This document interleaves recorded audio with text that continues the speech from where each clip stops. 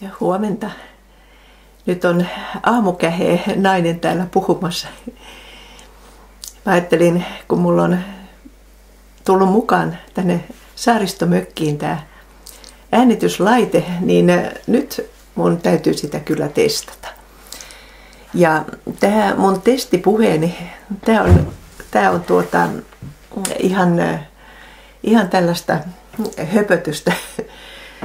Mä oon miettinyt jostakin syystä sellaista teemaa kuin luottamus.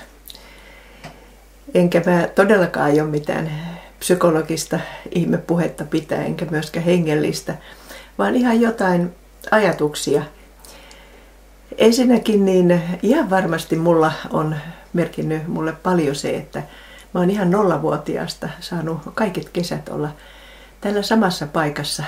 Nämä ihmeelliset eh, maisemat, tai oikeastaan nämä ei ole edes mitään niin ihmeellisiä, mutta ne on kuitenkin ne samat maisemat, mistä mä tiedän, että kun mä menen illalla eh, vaikka maisemakalliolle istumaan siellä hetken, niin mä tiedän, että mä näen semmoisen merimaiseman. Siinä on joskus auringonlasku, joskus ei, mutta siinä on ainakin sama kalliosaari ja on, on se meri välillä tyynenä, välillä vähän lainehtivana. Milloin enemmän heijastaa taivasta, milloin vähemmän. Eli on aina jotain sellaista tuttua. Ja on se olo, että nyt mä voin lähteä metsäkävelylle ja tai mitä se milloinkin on. Ja jollakin lailla tämä kaikki heijastuu myös suhteessa luottamukseen ja siihen, miten kokee Jumalan ja millä lailla e, myöskin kiintyy tiettyihin raamatun paikkoihin. Meillä tuota, mm, e, on sellaisia läheisiä raamatun paikkoja, johon me aina palaamme ja palaamme. Ja sitten toisaalta on sellaisia laajempia kokonaisuuksia, josta sitten myöskin voi poimia sitä, sitä syvää sisältöä. Tai voi kuunnella toisten raamattuopetusta. Ja e, kyllä mun täytyy sanoa, että nyt on ehkä eniten pysäyttänyt sellainen nöyrä puhe joko niin kuin Jumalan kasvojen edessä tai ristiin, ristiin keskittyvä puhe. Ja semmoinen raamatun paikka, minkä mä nyt otin tähän silmieni eteen, on Efesolaiskirje kolmas luku. Se on sen, se on kokonaisuudessaan aivan valtava ja siinä on hirveän pitkiä, pitkiä, pitkiä virkkeitä. Mutta tässä on kuitenkin puhutaan siitä aivoituksesta, iankaikkisesta aivoituksesta, jonka Jumala on säätänyt Kristuksessa, Jeesuksessa, meidän Herrassamme – jossa meillä uskon kautta häneen on uskallus ja luottavainen pääsy Jumalan tykö. Tässä on niin kuin jotain sellaista mulle niin kuin olennaista, että mä tiedän, että mulla on taivaallinen isä, josta mä oon saanut lukea ja jo elämässäni kokea, millainen hän on. Ja sitten tiedän, että Jeesuksessa Kristuksessa, meidän Herrassamme, on uskon kautta häneen aina uskallus ja luottavainen pääsy Jumalan tykö. Että Jeesuksessa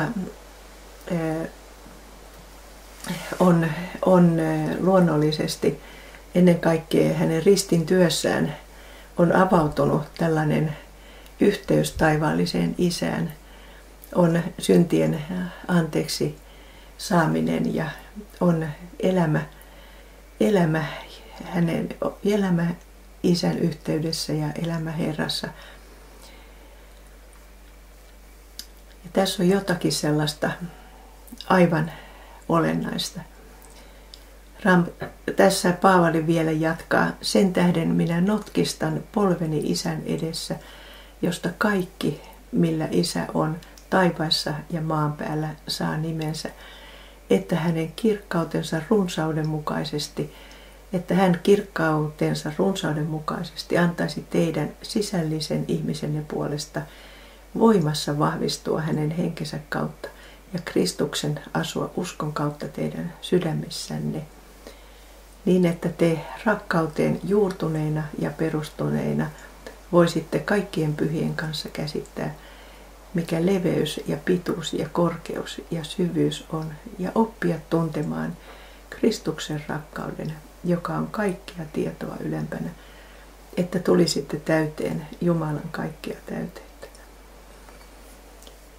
Tässä meni jo mun omat sanat sekaisin moneen kertaan, mutta tänne kun lukee, niin tulee sellainen hämmentynytkin olo, mutta tulee myöskin sellainen eh, tunne, että tässä on niin valtavien asioiden kanssa tekemisissä, että, että Paavalinkin eh, tuota, sanojen käyttö on, on sellaista tuota, hämmentävää suorastaan, kun ei tiedä miten sitä runsautta ja miten sitä rikkautta ja miten sitä ihmeellisyyttä oikein kuvaisi, mitä on Kristuksen kautta Jumalan yhteydessä.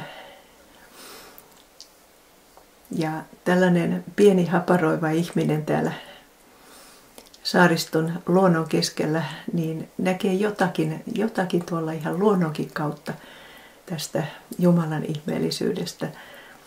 Ja hetkittäin jotain ymmärtää sanan kautta ja toisten puheiden kautta.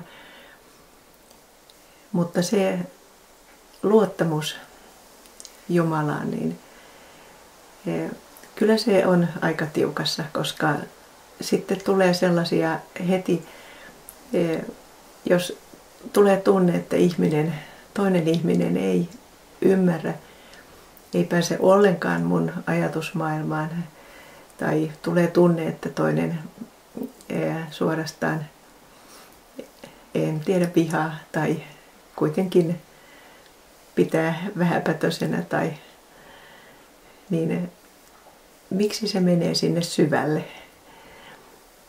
kun kuitenkin voisi ajatella, että se luottamus Jumalaan Kristuksen kautta, niin että se olisi jotakin niin syvää, että, että tämmöiset pienet inhimillisen tason asiat ei niin kuin heilauttaisi.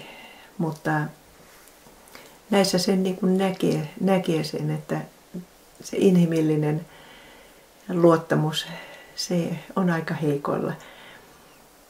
Ja kuitenkin se, mitä tietää sydämessään on, että voi aina, aina Kristuksen työn tähden niin luottavaisesti mennä Jumalan tyköön ja heittää murheensa, puhua kaikki ne omatkin tunteet ja ja siinä, siinä siunata niitä tilanteita, ihmisiä, kaikkia, mikä tuntee, että nyt, nyt on ehkä horjuttanut tätä omaa mielen, mielentilannetta tai, tai joskus nousee omasta elämästä sellaisia, missä on itse tehnyt, tehnyt tosi väärin ja typerästi ja niitäkin voi sitten, vaikka ne on vanhoja asioita, niin uudelleen puhua Jumalalle. Siihen mä jotenkin luotan, että Jumala ymmärtää, että ihminen on tällainen, tällainen horjahtelevainen ja ihmisen mieli on, on välillä sekava. Ja että se, että ihminen tällaisenaan turvautuu Jumalaan, mä uskon, että se on aina Jumalalle mieluista ja Jumalan tahdon mukaista. Ja ehkä siinä on niin se luottamus juuri, että tietää, että aina voi palata niin kuin rukouksessa siihen Jumalan läheisyyteen, että hän on, hän on isä, joka, joka ymmärtää lastaan.